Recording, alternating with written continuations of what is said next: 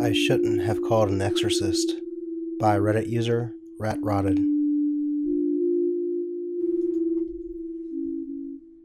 It took me about four months to accept that my new house was haunted. I imagine most people would have figured it out far sooner, but not me. You see, I didn't just not believe in ghosts, I was certain that they weren't real. In my mind, ghosts occupied the same category as dragons and unicorns.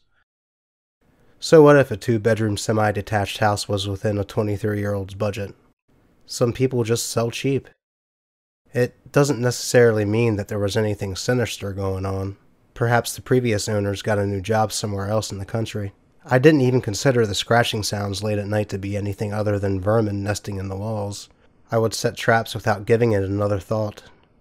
I chalked up the constant feeling of vague dread that permeated the house to some fault with the air conditioning. As soon as I could afford it, I would just pay to have it replaced. All my friends told me that I had a ghost, but I would just laugh it off. John, in particular, insisted that there was a restless spirit in the house, but if anything, that made me more certain that there wasn't.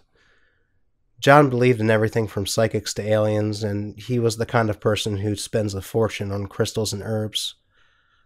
So, yeah, it took a lot for me to finally accept that there was something off about the house. The first cracks in my comfortable little bubble of certainty came a few weeks ago. I'd been having a rough night's sleep, trapped in a nightmare that I couldn't wake up from. In my dream, I was a med student working in a morgue. The doctors around me were hostile and rude, laughing and jeering at me. They wanted me to put my gloveless hand inside the chest cavity of a little girl and found my terror at the idea highly amusing. The girl's corpse stared at me with open, glassy eyes as the doctors dragged me towards her. The shocking cold as my hand entered her chest woke me up at last. I let out one of those half asleep screams that you can only produce after waking up from a nightmare. My right hand was still freezing and clammy as if it was still inside the little girl's chest. And when I tried to move it under my covers, I felt resistance. I screamed again when I saw what I held in my hand. A little girl, the same one from my dream, crouched by the side of my bed. She held my hand in hers, and her touch was like ice water.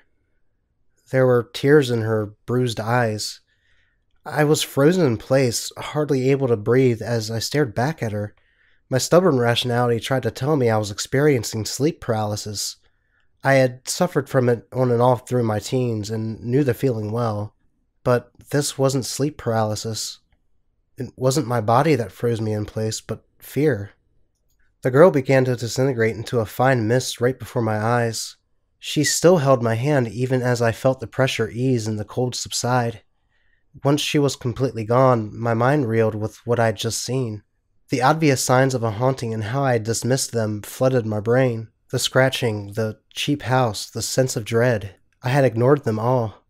There were other signs too, the sound of crying late at night that I had chalked up to foxes or cats, doors opening and closing that I had assumed was simply because of a draft, things not being where I was sure that I had left them, yet I was convinced that it had only been my own forgetfulness. But what did this mean? If ghosts were real, then I could expect to wake up one morning and find dragons roaming the street. Could it be that demons and angels and psychics and all the other things that I'd made fun of John for believing in were real too? No, that's ridiculous. Ghosts aren't real. They couldn't be. If you open up that door in your mind, the next thing you know, you'll be buying crystals from some hippie Wiccan. We live in a rational world, and there's obviously got to be a rational explanation. Sleep paralysis. Yes, it had to be. Sure, it didn't feel like the episodes I had had in my teens, but that didn't prove anything. Not all nightmares are the same, so why should sleep paralysis be? I feel somewhat ridiculous now, but that's how my brain worked back then. I was one of those people who steps beyond rationality and into simple denial. At the same time, my denial proved strong enough to get another week of blissful ignorance. John just had to visit and screw everything up. How can you still be convinced that there's no such thing as ghosts? he asks, pointing at the broken vase on the floor. We had been watching football and sharing a few beers at my place when a vase fell off the mantelpiece. It was a large, heavy thing, and the sound of it shattering made us both leap out of our skin. But it was too far big an ornament for it to have been knocked over by a simple breeze. John looked at me, and I just shrugged and said it had to be tremors. He said he didn't feel anything and that I was being ridiculous. I was being ridiculous, but I wasn't about to let John tell me that. John, who believed in psychics. John, who believed he could sense the presence of spirits. An idea came to me in that moment. All right then, John, why don't you lead me to the spirit? Use your gift to show me which room the ghost is in, I told him. Well, ghosts do move about a little, he said, suddenly unsure of himself. I've had a drink too. It may not be easy. That's all right. I'm happy for you to take your time. I had called John on supposed psychic power and was loving every moment of it. Besides, didn't you tell me once that ghosts manifest most strongly in a particular room of the house? I'd like to know which room that is so I can set up my camera. John wasn't too happy about a skeptic asking him to demonstrate his quote unquote gift, but the alcohol had made him bold. He accepted my challenge and we spent the next five minutes wandering around the house. John had one hand out in front of him as though he could feel his way to the ghost by touch. Then we reached my bedroom and his little finger twitched. Here, he said at last. The ghost is strongest in your bedroom. I think. I think it's a little girl. My heart stopped. How could he have possibly known what I'd seen in that room? I certainly hadn't told him. Denial kicked in again, and I wrote it off as a lucky guess. All right, then, I'll set up the camera and see if there's anything here. If I do spot a ghost, I'll buy the first round next time we go to the Red Lion. He chuckled and just simply said, Deal. So that's how I finally shattered my little bubble of denial entirely. I did set up the camera and watch the footage back the next day. I skipped through the first few hours since watching myself sleep wasn't exactly exciting.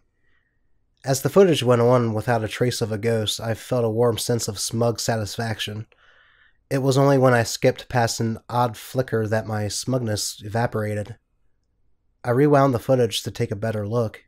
A little girl stepped out of the shadows. She walked over to my bed and stood beside me. My blood froze in my veins as I watched her lean over my sleeping body. She was inches from my face before she finally faded into mist. Dragons, unicorns, angels, demons, psychics, heaven, hell, crystals, and ghosts. All the things I had written off as fantasy assaulted my brain with their sheer possibility. I had to call John. I won't go into much detail about the phone call between me and John. I still have a scrap of pride left suffice it to say, I was in hysterics as I told him what I'd seen.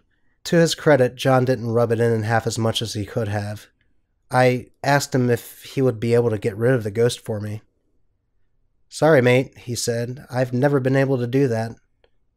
Do you know anybody who can? I asked him as calmly as I could. In that moment, as calmly as I could meant I choked out the words between terrified sobs. Not personally, but I've had a friend with similar problems. She found a guy who exorcises spirits for free. Says he got rid of a poltergeist. She gave me his number for if I ever needed it. It should be around here somewhere. It took John around 15 minutes of rummaging through his bomb site of a house before he found the number. I didn't mind, though. The idea of sharing a house with a ghost, an actual ghost, that thought was intolerable to me. I would take whatever help I could get. When he finally found the number, I thanked him profusely and wasted no time in calling it. The phone only rang three times before I got an answer. Address? The voice was cold and detached. Hello, I was hoping you could help me. I have a ghost in my house, and a friend of mine told me that you deal with that sort of thing. Please, I'm. I'm terrified. The voice from the other line just simply said again, address? He didn't seem at all interested in comforting me. There was a chilly vibe in his voice that made my hairs on my neck prickle. Still, I was desperate, so I gave him my address. I'll be there at midnight, he said, then promptly hung up. The wait was excruciating.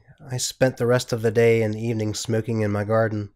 I just couldn't bring myself to go inside my own house. Since I knew almost nothing about the world of the supernatural horrors I'd been exposed to, I had no idea if that little girl could hurt me. I don't know how I expected an exorcist to look, but when the man finally arrived, he didn't appear as I thought an exorcist would. He was no older than 30 and wore a plain white work shirt with blue jeans and black shoes. If anything, he looked like he belonged in a somewhat nice bar rather than a haunted house. You have a ghost problem, he said. It wasn't quite a question, and there was no uncertainty in his voice. He said it as blandly as one might say, It's raining outside. Yes, a little girl, I answered. Please, you have to help me. There was no warmth in his face as he observed me. Something about him made me uncomfortable, though I didn't know what it was at the time. Looking back, I think it was the faint trace of contempt in his eyes. I can remove the spirit for you. Do you know where it manifests itself most strongly? Yes, in my bedroom. She sometimes watches me, watches me while I sleep. Children often have difficulty moving on. He said that as though it was one of the most normal sentences in the world. Stay here, I won't be long. With that, he left me standing outside. I lit another cigarette and tried to focus on keeping my heartbeat regular. Some part of me expected to hear the stereotypical horror movie sounds of an exorcism screaming, Latin chants, demonic voices, that sort of thing. None of that happened, though. It probably took no longer than ten minutes before the man came back outside. That's all? I asked. That's all. The ghost won't be troubling you any more. Good night. And then he just left without another word while I stood outside my house dumbfounded. It all felt so anticlimactic, if I'm honest. A stranger arrives, spends a few minutes in my house, then leaves. Not that I'm complaining about that, mind you. It was just. It was definitely preferable to the horror movie I was anticipating. When I finally worked up the courage to go back inside, the house immediately felt different. It was lighter somehow, less oppressive. I couldn't believe how long I had endured the lingering sense of dread as I buried my head in the sand. I slept soundly that night. Maybe I could have ended the story here. I could have just gotten on with my life, content with the fact that my house was no longer haunted. Though my damn curiosity got the better of me. You see, I remembered the camera I had set up in my bedroom. The Exorcist worked so quickly that I just had to see how it was done. I wish I hadn't watched the recording. The little girl was huddled in the corner of my bedroom with her hands over her eyes. My heart raced as I looked at her that ghost girl that had introduced me to the world of the paranormal. Then the exorcist stepped into the room and the little girl began to cry more than ever. He walked over to her and his shape began to blur. Shadows surrounded him, obscuring his features before solidifying into a spidery mass of limbs. I watched in horror as his talons lifted the girl into the air and dragged her towards him. And then I couldn't believe my eyes. The exorcist's jaw unhinged, revealing multiple rows of needle teeth. His eyes burned with pale fire as he consumed the little girl's spirit. Once he finished his meal, the shadows receded and he appeared human once more. He turned to leave, but spotted the camera. He looked straight into it, straight into me, and smiled. Ghosts are real, and I can no longer deny that. I know that there's a world besides our own. I also know that ghosts aren't the worst things out there.